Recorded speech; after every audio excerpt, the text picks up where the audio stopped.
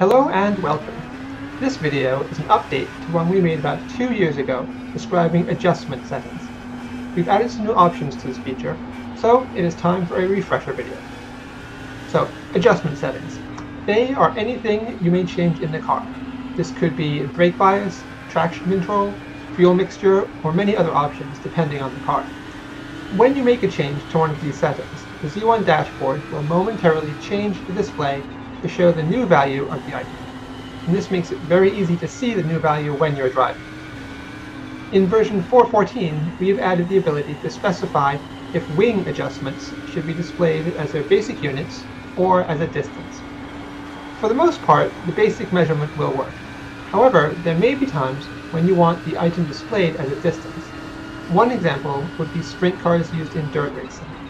You may want to have their wing settings displayed in inches or in millimeters, as opposed to a basic number. The Z1 dashboard allows you to select which option you prefer.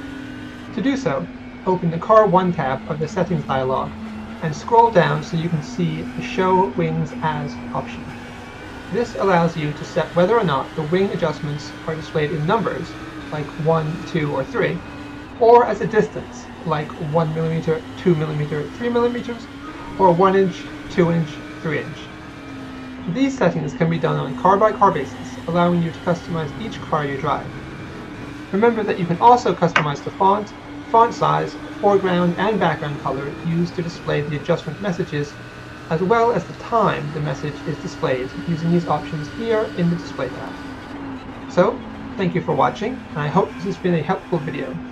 Make sure you download the Z1 Dashboard demo if you have not done so already, and subscribe to our YouTube channel.